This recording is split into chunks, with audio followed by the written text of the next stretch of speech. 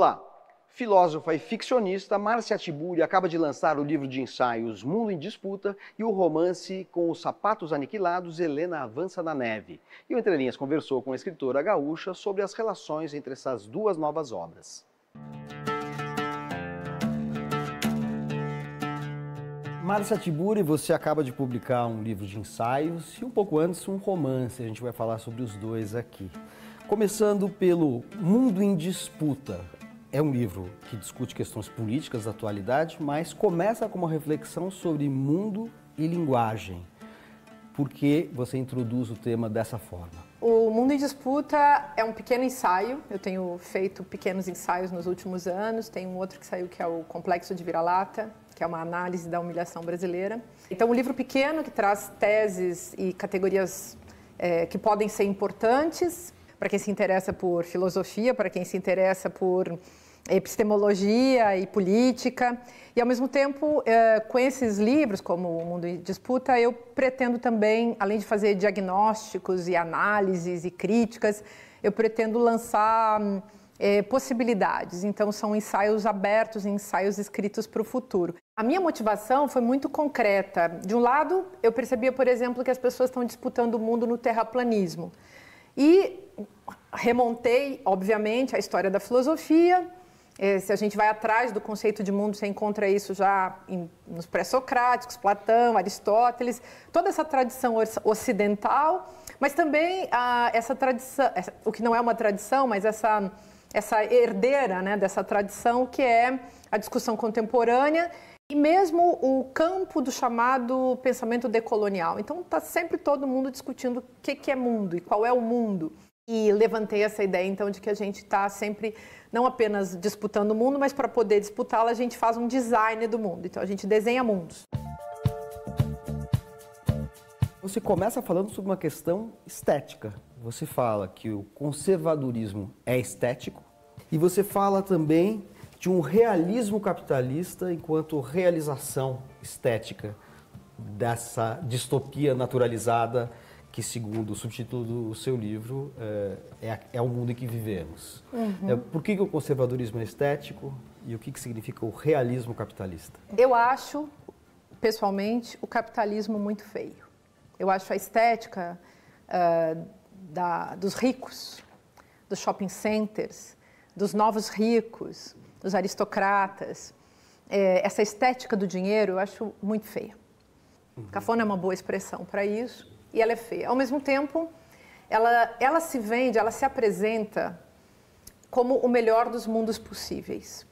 E junto com essa estética, digamos, com essa cena, com essa aparência, vem então uma ética, vem uma política, vem um conjunto de valores. Esse território dos valores é interessante pensar porque o valor ele vale esteticamente, ele vale eticamente, politicamente, economicamente. É uma categoria assim que vale para analisar tudo isso, né? Então, eu tenho me especializado nos últimos anos em fazer análises que eu chamo de estético-políticas.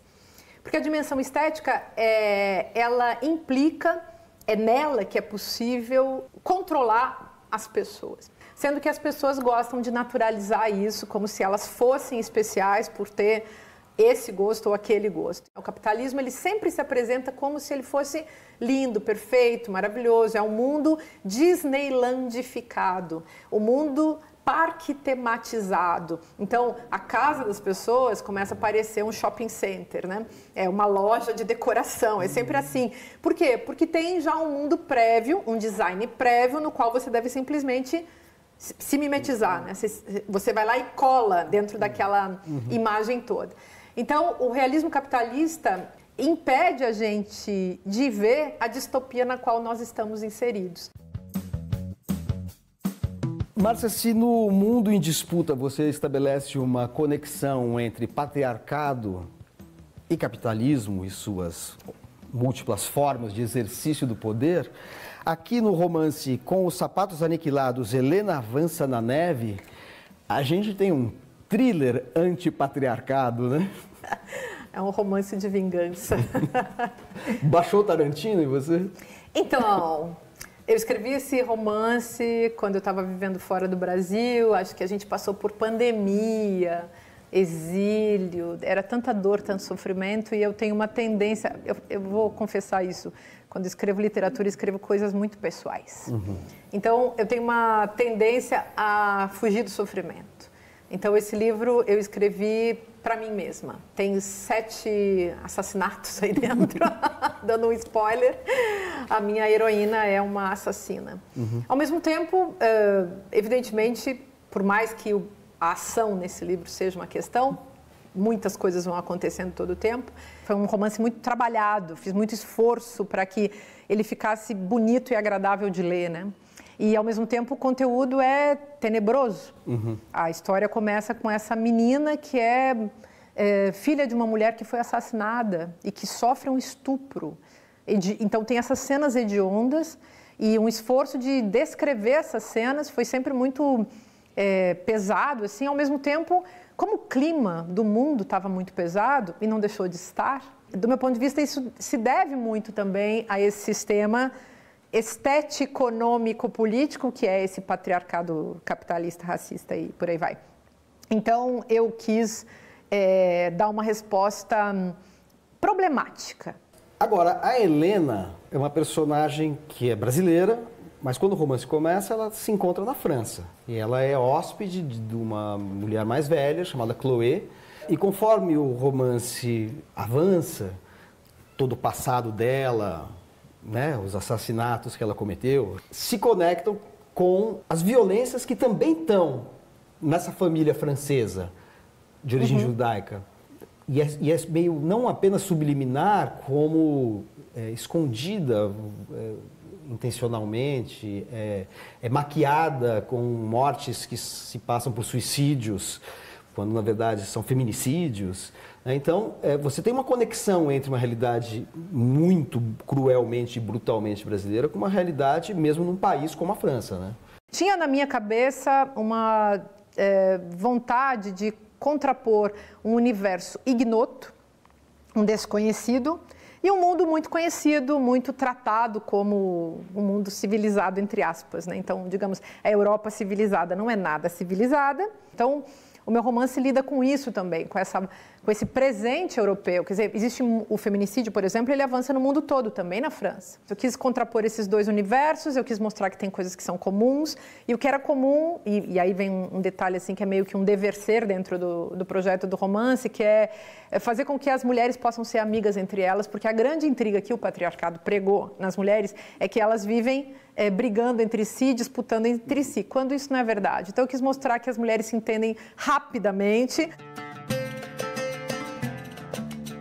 algo que identifica a história da Helena, protagonista, e a Chloe, que é a sua principal interlocutora, a mulher, a casa de quem ela vive, que é a questão de eh, elas estarem ligadas a mulheres mortas cujas mortes foram eh, oficialmente consideradas suicídios. Mas a gente descobre, a gente sabe aqui lendo o livro, que esses suicídios, na verdade, foram feminicídios, uhum. foram assassinatos. Mas elas têm uma atitude muito diferente, isso tem a ver talvez com o tempo, com a geração que enquanto a Helena, é, desde cedo, em resposta ao assassinato da sua mãe, vai cometer assassinatos contra homens, a Chloe, que é uma mulher de uma geração mais antiga, ela tem uma, assim, ela faz uma guerra de guerrilha, ela mina o sistema por dentro, de uma maneira muito curiosa, que foge um pouco do registro da violência, que é se apropriando de ícones vamos dizer assim, da cultura oficial, né? Eu tive e tenho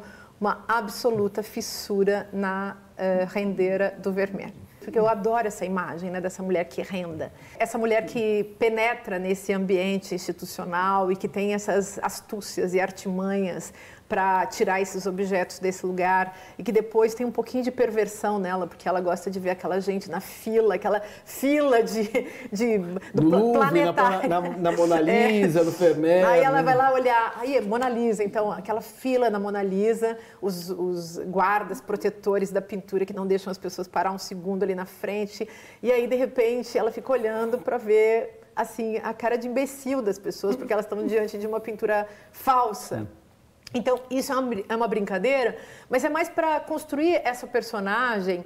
Ela não é uma figura dramática, é um lado, digamos, cômico dentro dessa tragédia toda desse livro.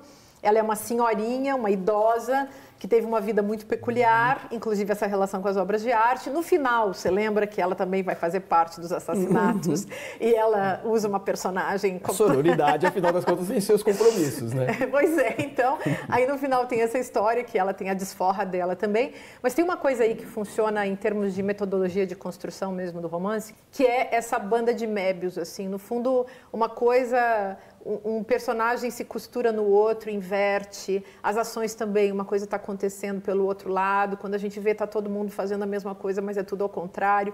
Então, eu gosto dessa geometria literária e eu acho que esse romance conseguiu fazer isso. Eu busquei isso ao longo da minha vida, mas acho que talvez pela primeira vez tenha funcionado muito bem.